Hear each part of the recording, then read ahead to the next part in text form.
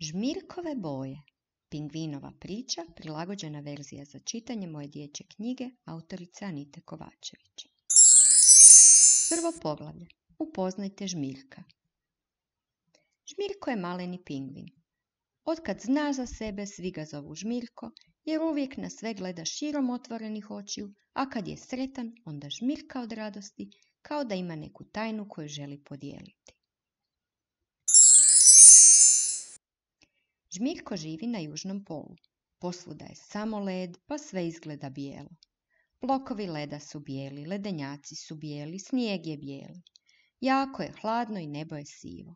Voda u oceanu izgleda crno, jer u okolici nema ničega plavog ni zelenog. Tamo se ne vide duge, jer nikada ne pada kiša.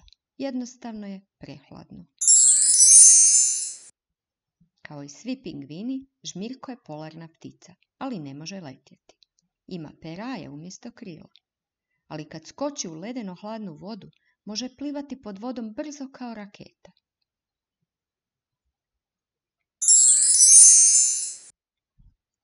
Kao i svi pingvini, i on je crno-bijeli. Peraje, ramena i leđa su mu crni. Prsa, trbuh i lice su mu bijeli. Samo su mu kljuni stopala žuti. Izgleda baš kao i svi ostali pingvini, osim što ima jedan pernati pramen na vrhu glave koji mu stalno strši uvis, bez obzira što učini. Vrijeme je za izazov. Sad ste čuli prvo poglavlje knjige. Slijedi moj izazov za vas.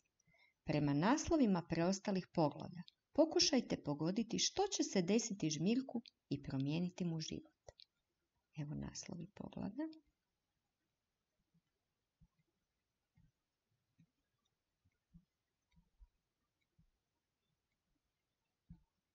Upoznajte Žmirka, Žmirkova obitelj i prijatelji, Žmirkova velika želja, Žmirko na ekspediciji, pokušaj ponovno, iznenađenje, priprema pozor, opasna duga, opet bijelo, boje. Pokušajte pogoditi pa se čujemo. Pošaljite mi svoju priču, ako želite možete ju i ilustrirati. Ovo je njegov moto, snovi dodaju boje u vaš život. Veliki pozdrav, Bog!